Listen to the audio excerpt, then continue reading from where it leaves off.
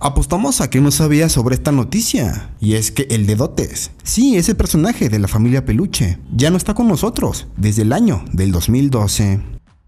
En esta entretenida comedia conocimos muchos personajes que nos hicieron reír y por supuesto llorar. Durante tres temporadas conocimos a Ludovico Peluche y a su familia, además de sus vecinos, compañeros de trabajo y uno que otro colado de la famosa ciudad Peluche, como fue el de Dotes.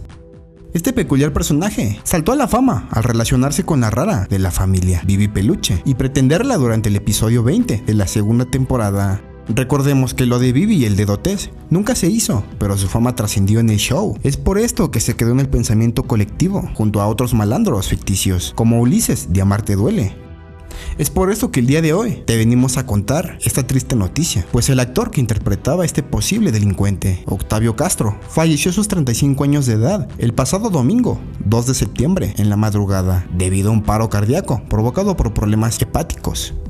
Lo raro de esto es que esto pasó en el 2012, pero déjanoslo saber en los comentarios si es que no sabías sobre la muerte de este agradable personaje.